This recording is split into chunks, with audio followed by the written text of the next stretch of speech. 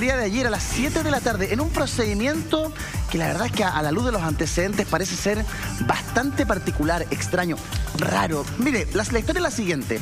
Había una persona detenida en Cerro Alegre, en el sector de la comuna de Parral. A ese lugar concurre una patrulla de carabineros y toma detenido a esta persona que había sido detenida por conducir bajo los efectos del alcohol.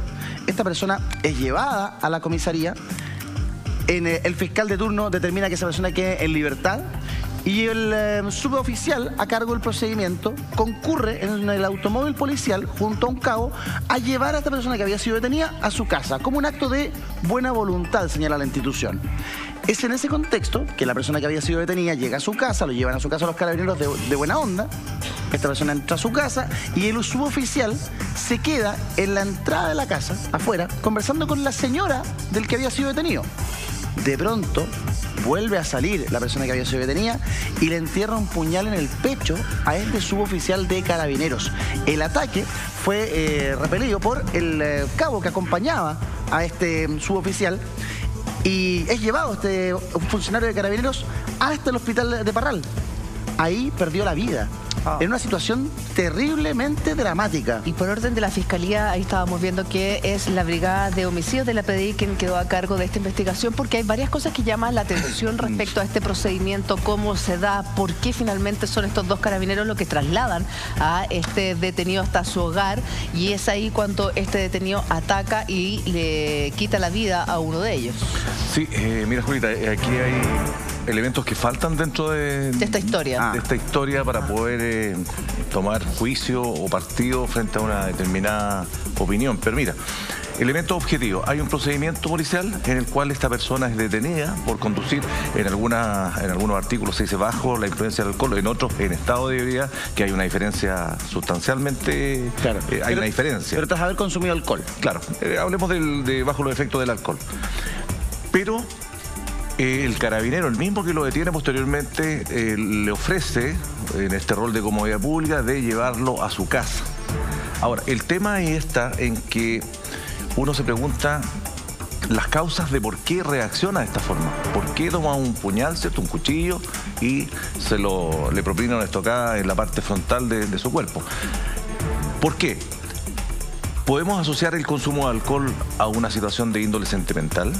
¿Estaba conduciendo bajo los efe- efectos del alcohol por algún problema sentimental y él, dentro de ese razonamiento o de esa eh, nube que tiene en el momento en que ve al funcionario conversando con su señora, haya desatado una pasión?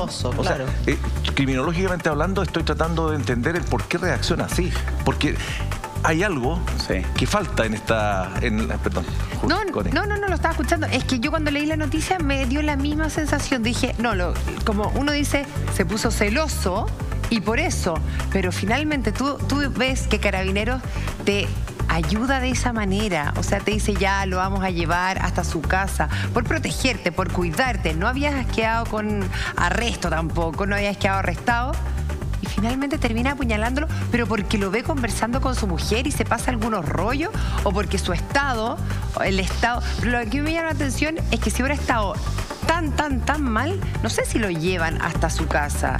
O sea, quizá, claro, a mí una condición media psicopática, porque la reacción tan violenta es raro por ver conversarlo con una Es súper extraño. En general, a ver, Es que acá, perdón, es todo raro.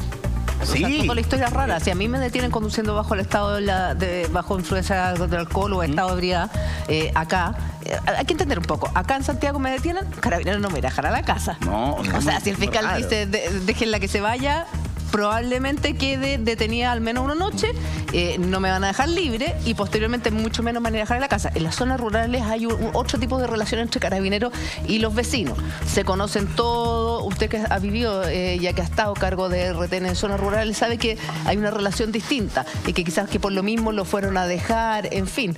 Pero eso hace que eh, se hayan quizás conocido de antes todos. Sí, tal como tú señalas, en, en provincia se- uno se relaciona de otra manera. De otra manera. Acá la relación es muy dura en Santiago y en lo- las capitales de, de regionales es, es com- es complicado. Pero en lugares como Parral, eh, todo el mundo se conoce prácticamente, Claro. porque la gente es de ahí. Y el carabinero también reacciona de otra forma. Por Sí. ejemplo, este es un gesto de amabilidad que él lo haya llevado a su domicilio. Claro. Pero esta persona reaccionó de una manera totalmente... eh, Además, además no es en Parral mismo, es en, en un sector que se llama Cerro Alegre, que es más pequeño aún, Claro. en donde todo el mundo se conoce. Yo creo que primero hay que establecer si es que hay alguna historia previa. O sea, si se conocían de antes. Si esta persona que atacó a este, a este suboficial de carabineros lo conocía, si tenían alguna historia. Si la mujer de esta persona también lo conocía, si es que era motivo de celo. ¿Por qué este suboficial decide llevar a esta persona a su casa? ¿Lo conocía de antes? ¿Hay algún grado de amistad previa o qué sé yo? Y lo otro es que el, em, el procedimiento parece no ajustarse a lo que corresponde. Entonces, eh, es súper complejo porque... ¿Por qué? Porque, no sé, pues, Carlos Maciento, yo le digo, el procedimiento no corresponde porque Carabinero no es un taxi, no es un radiotaxi, ¿o ¿no? A mí, a mí lo que me produce problema es lo que sobra, no lo que falta acá. Claro. ¿Qué es lo que sobra? Porque un procedimiento por manejo de estado de ebriedad o por influencia del alcohol, lo que va a pasar es que si la persona está muy bebida, lo van a dejar ahí hasta que se le pase. Eso es lo que yo sé. Uno. Dos. ¿Qué va a pasar después? Le van a decir, váyase, porque va a quedar citado bajo percibimiento de- del fiscal y va a tener una audiencia con posterioridad. Hasta ahí el procedimiento normal. Ahora, puede ser de buena fe que lo, vayan, lo hayan ido a dejar, pero bajarse, esperar, conversar con la señora, eso ya me genera una situación que va más allá de lo que corresponde. Claro. Ah, claro. General, ¿y usted qué, qué- me dice que, o sea, qué me dice del procedimiento? ¿Estuvo de más todo eso? ¿Se hizo de más en este caso? Yo creo que en, en provincia no está de más, porque es parte, del, Distinto. parte de la relación social. Eh, respecto al tema de la señora, ese es el punto, porque perfectamente el carabinero puede haber estado conversando sobre la situación de su esposo, tratando de ver la causal de por qué él estaba en ese estado de, de- de ebriedad, conduciendo, si hay algún problema familiar. En el fondo está orientando a lo que hace el carabinero, ¿ah? Eh, interrelacionarse, conversar con para poder ayudar a este otro problema. Y eso puede haber sido malinterpretado por el... Si estaba todavía bajo los efectos del alcohol. Es que por eso no lo hace deberían haber soltado. una, ah, Es que eso, eso es lo que llama la atención, que el fiscal haya ordenado que lo liberaran. Porque Claro. si el tipo estaba bebido, debería haber esperado en el calabozo hasta que es, eh, Claro. que, que es lo que le pasaría a cualquier otro cristiano. Es, es que el fiscal y el abogado nos, nos puede ayudar.